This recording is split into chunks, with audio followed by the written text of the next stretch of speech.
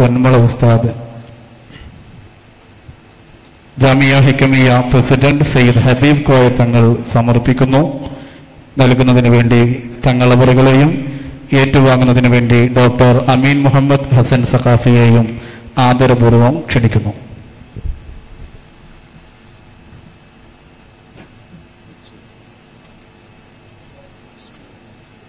അള്ളാഹു അക്ബർ അള്ളാഹു അക്ബർ അള്ളാഹു അക്ബർ വലില്ലാഹിൽ ഹംദ് അടുത്തതായി അധ്യക്ഷ പ്രസംഗം വഹീസുന്ന ഷെയ്ഖുന പന്മട അബ്ദുൽ ഖാദർ മുസ്ലിയാർ നിർവഹിക്കുന്നു السلام عليكم ورحمة الله وبركاته بسم الله الرحمن الرحيم الحمد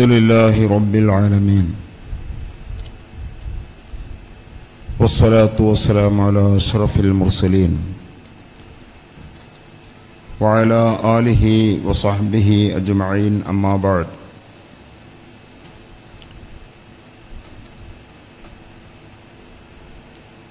أيها العلماء العظام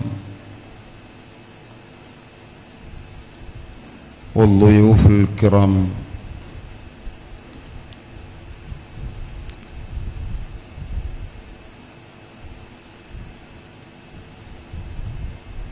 إني أريد أن ألقي إليكم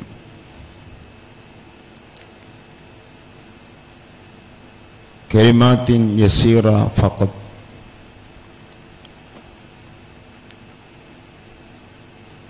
فإن في هذه الحفلة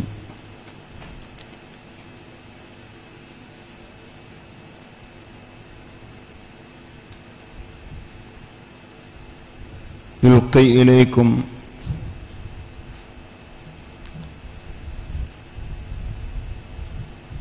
كثير من العلماء المحاضرة الدينية وهم ينتظرون فرصتهم.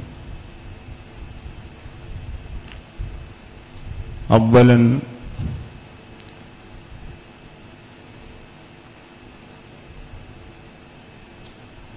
أريد أن أذكر كلمة الشكر لسماحة الشيخ الضيف الكريم الدكتور وائل البطرابي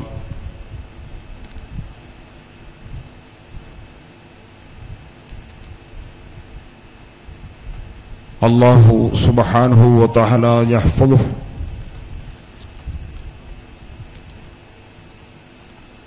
ويطبر أعماره.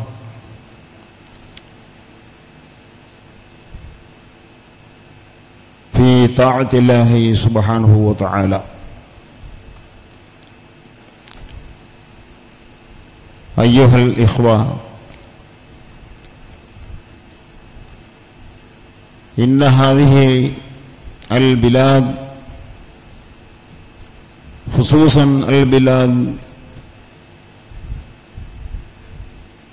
المليبرية.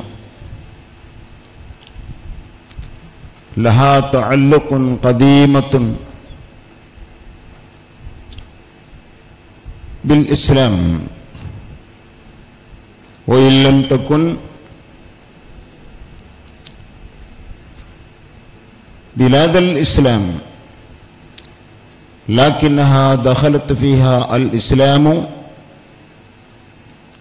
على عهد رسول الله صلى الله عليه وسلم.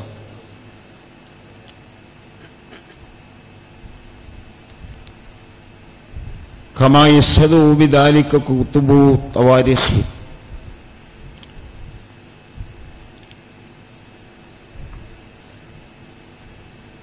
تواريخ البلاد كثيرة. العلماء المتقدمون كتبوا في التواريخ كتبا كثيرة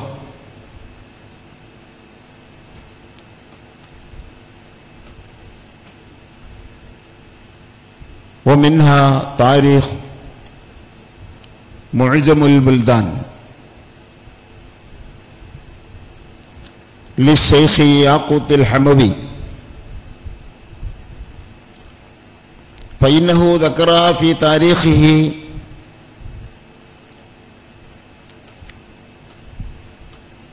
بلادنا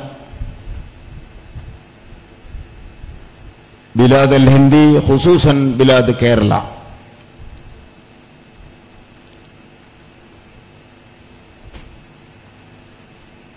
وكذلك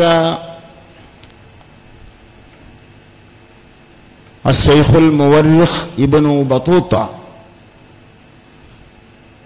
فإنه كتب في رحلته بعض بلاد كيرلا. مثلا كوشن أي كوتشي كوتشن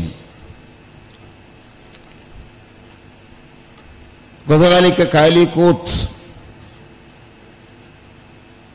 كاليكت وكذلك باكنور وغيرها.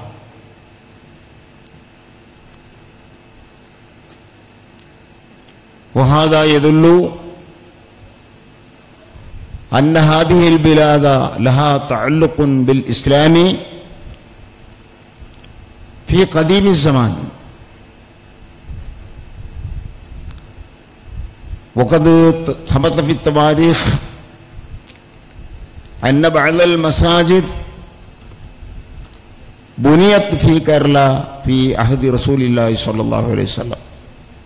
سنة خمس من الهجرة.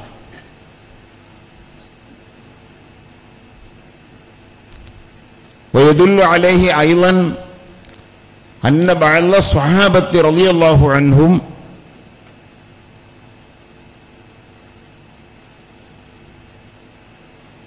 قد دفنوا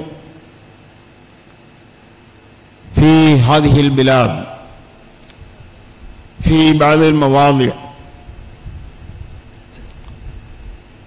وهذا كله يدل على أن لبلادنا تعلقا قديما بالإسلام.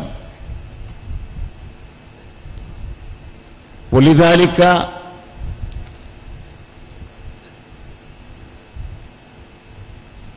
لأهل بلادنا تعلق قديمة ببعض بلاد العرب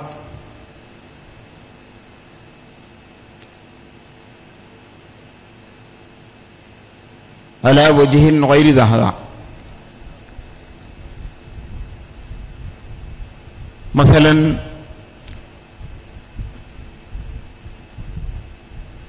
التعلق التجارية.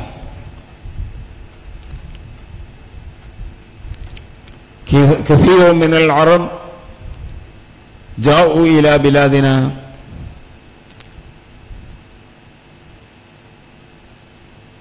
مثلا في كاليكوت فاشتغلوا فيها بالتجارة. وأيضا كثير من العرب قديم الزمان جاءوا إلى مومباي للتجارة أيضا.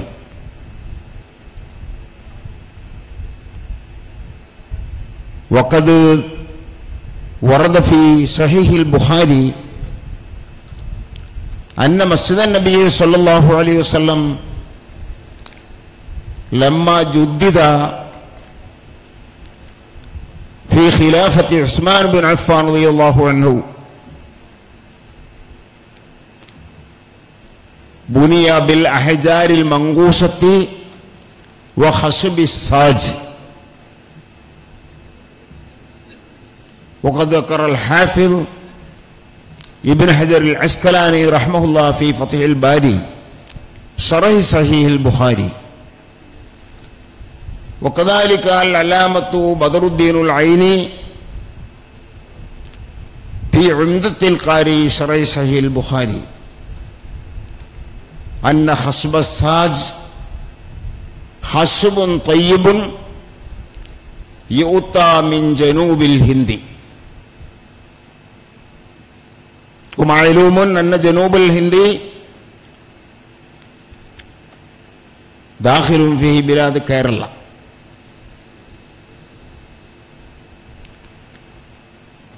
وكذلك ثبت في التواريخ أن نبي الله سليمان عليه السلام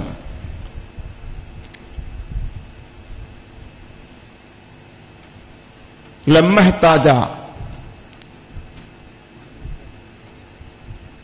إلى خشب الساج وكذا العاج أرسل بعض ملوك الهند إليهم ما طلبوه. وهذا يدل على التعلقات القديمة. ولذلك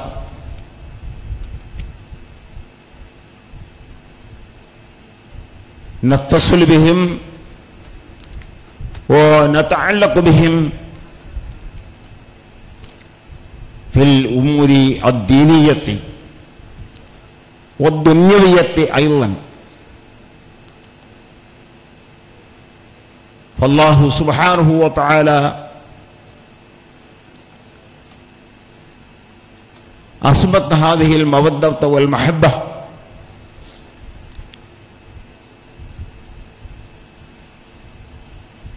ലിൽ വസ്സലാഹി അലഹമുല്ലാഹി റബ്ബിൽ പ്രിയമുള്ള സഹോദരങ്ങളെ അധ്യക്ഷ പ്രസംഗം നീട്ടുന്നില്ല. നമ്മുടെ ഈ രാജ്യങ്ങളെന്ന് പറഞ്ഞാൽ ഇസ്ലാമുമായി അഭേദ്യമായ ബന്ധം നമ്മുടെ രാജ്യത്തിനുണ്ട്. അതുകൊണ്ട് തന്നെ ഇസ്ലാമിന് ജീവായ ഇൽമുമായുള്ള ബന്ധവും വളരെ പണ്ടുകാലം മുതൽക്ക് തന്നെ ഉണ്ട്. അതിനെ ഇവിടെ നിലനിർത്തിപ്പോന്ന പ്രധാന സംഗതിയാണ് പള്ളി ദർസ്. ഇനി അറബിക് കോളേജുകൾ എന്ന പേരിൽ നടക്കുന്നതാണ് എങ്കിലും ഇപ്പം നമ്മുടെ ജാമ്യായ കമ്മിയയിൽ ശരിയത്ത് കോളേജ് എന്ന പേരിലാണ് നമ്മൾ ദർസ് നടക്കുന്നത്. പക്ഷേ അത് പഴയ കാലത്ത് നടന്നു പോകുന്ന ആ ദർസ് തന്നെയാണ് വ്യത്യാസമില്ല. അതാണ് ഇൽമിനെ നിലനിർത്താനുള്ള ഏറ്റവും വലിയ ആയുധം. ഇൽമ നിലനിൽക്കുമ്പോഴാണ് ഇസ്ലാം ദീൻ ഇവിടെ നിലനിൽക്കുന്നത്. അതിൽ യാതൊരു സംശയവുമില്ല. അപ്പൊ ഇസ്ലാമിന്റെ ജീവെന്ന് നബി സല്ലല്ലാഹു അലൈഹി തങ്ങൾ വിശേഷിപ്പിച്ച ആ അറിവിനെ പകർന്നു കൊടുക്കുന്നതിൽ നമ്മുടെ ഈ സ്ഥാപനങ്ങൾക്കുള്ള പങ്ക് വലുതാണെന്ന് നാം മനസ്സിലാക്കണം. അതുകൊണ്ട് തന്നെ നാം ചെയ്യുന്ന നല്ല പ്രവർത്തനങ്ങളിൽ ഏറ്റവും വലിയ പ്രവർത്തനമാണ് ദീനിന്റെ നിലനിൽപ്പിന് ആവശ്യമായ ഇൽമ നിലനിൽക്കാൻ എന്തൊക്കെ വേണം അതെല്ലാം ചെയ്യുക എന്നത്. റസൂർലായി സ്വല്ലല്ലാഹു അലൈഹി തങ്ങൾ തന്നെ ആ ഇൽമിന്റെ മഹത്വം സൂചിപ്പിച്ചല്ലേ പറഞ്ഞേ കുൻ ആലിമാൻ. നീ നല്ലൊരു ആലിമാകണം. ഔ മുത്താലിമൻ അല്ലെങ്കിൽ ആലിമാകാനുള്ള വഴിയാണ് പഠിച്ചുകൊണ്ടിരിക്കുന്ന മുത്താലിമാകൽ അതിന് രണ്ടും കഴിയില്ലേ? എന്നാ പിന്നെ ഔ മുസ്തമിയാൻ. ഇൽമ പറയുമ്പോൾ അത് ശ്രവിച്ച് കേൾക്കുന്നവനാകണം. അതിനും ചിലപ്പോൾ പങ്കെടുക്കാൻ പറ്റിക്കൊള്ളുന്നില്ല. അവൻ കച്ചവടത്തെയും മറ്റ് ജോലിയിലൊക്കെയാണ്. എന്നാ പിന്നെ അവസാനത്തെ വഴി ഔ മുഹിബൻ ഇൽമിനെ സ്നേഹിക്കുന്ന ഒരു മുഹിബാവുക അതിന്റെ പിന്നെ അപ്പുറം വലാത്ത കുൻ ഹാമിസ. അഞ്ചാമത്തെ ഒന്ന് നീ ആകരുത് എന്ന് നബി സല്ലാഹു വസല്ലം തങ്ങൾ പറഞ്ഞത് നമുക്ക് പാഠമാകണം. അതുകൊണ്ട് ഈ സ്ഥാപനത്തെയും ഇതുപോലുള്ള നമ്മുടെ മറ്റ് സ്ഥാപനങ്ങളെയും അടുത്തറിയുകയും അതിന്റെ വിജയത്തിന് വേണ്ടി ഉയർച്ചയ്ക്ക് വേണ്ടി വളർച്ചയ്ക്ക് വേണ്ടി നമ്മളാൽ കഴിയുന്നതൊക്കെ നാം ചെയ്യുകയും വേണം.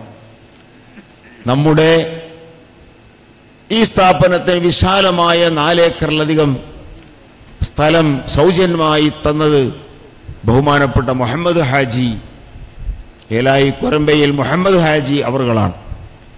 അള്ളാഹു അവർക്ക് ദീർഘ ആയുസ്സും ആഫിയത്തും പ്രദാനം ചെയ്യട്ടെ. അവർക്ക് സ്വന്തമായി മക്കളില്ലെങ്കിലും ഈ സ്ഥാപനത്തിലെ മുഴുവൻ കുട്ടികളും അദ്ദേഹത്തെ ഉപ്പ എന്നാണ് വിളിക്കുക. അദ്ദേഹത്തിന്റെ ഭാര്യ ഹദീജ ഹജ്ജുമ്മ